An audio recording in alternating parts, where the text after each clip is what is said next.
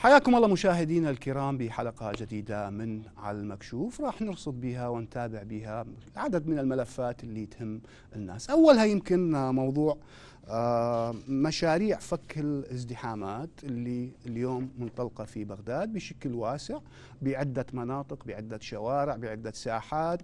هنالك آه، مشاريع جسور هنالك مشاريع أنفاق.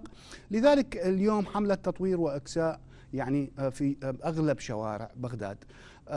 أمانة العاصمة حددت نهاية الشهر الجاري ل موعد افتتاح طريق السندباد في منطقة الزعفراني. هذا الطريق اللي طبعا خلال سنوات هو شكل آه، نوع من العبء على السائقين والازدحامات مستمرة في منطقة الزعفرانية. آه، واللي راح يسهم بافتتاحها يعني بفك الاختناقات عن الشارع وتحديدا وبالخصوص يعني تقاطع الزعفرانية اللي دائما آه، مزدحم والناس يمكن تضيع آه، ما نقول ساعات بس مو أقل من يعني ثلاث ارباع ساعه حتى يعبر هذا التقاطع ويجوز أكثر في بعض الأحيان من تكون الشوارع قافلة.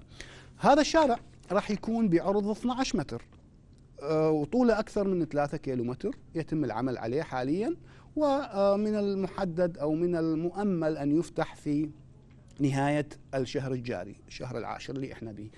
آه، المتبقي من المشروع حسب ما يعني تحدثوا لنا إنه هو فقط الإكساء يعني باقي فقط إكساء الشارع آه، موضوع الإكساء أيضا أعلنت الأمانة آه، المرحلة الثانية من خطتها لحملة بغداد أجمل واللي تتضمن إكساء ما تبقى من أحياء العاصمة واللي راح تشمل عدة مناطق بمساحة 8 مليون متر مربع في عموم العاصمة.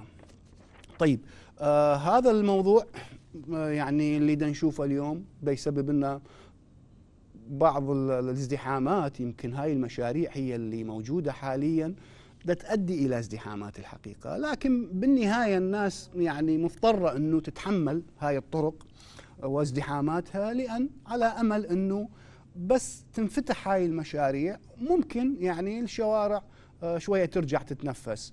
آه، الحقيقة آه، أصبحت الشوارع في بغداد والناس كلها تعرف ساكنين بغداد واللي يتحركون في بغداد الازدحامات الخانقة في كل مكان. بداية الأسبوع يعني كارثة الكوارث أنه تتحرك بحرية في ساعات الصباح أو حتى حتى يعني ساعات متأخرة من الليل.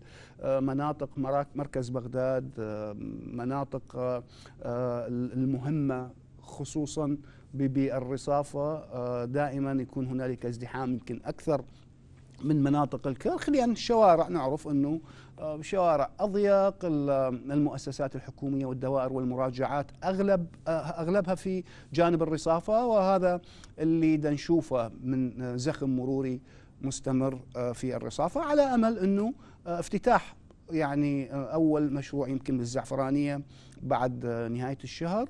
والمشاريع الأخرى أيضا نتمنى أن تنجز بشكل سريع وما يكون بها تلكؤ مثل ما شفنا في عدة مشاريع آه، بخلال السنوات السابقة وأصبح رد فعل المواطن أنه أي مشروع آه، يبتدأ به آه، خلص يعني تبقى الناس ايدها على قلبها إنه شو وقت ينتهي هذا المشروع ويدخل للخدمة بحيث إنه آه، تستفاد الناس من آه، التبليط الجيد أو تستفاد من فتح شارع جديد أو توسعة في في في شوارعنا واللي هي تخدم بالنهاية المواطن العراقي والبغدادي بشكل خاص.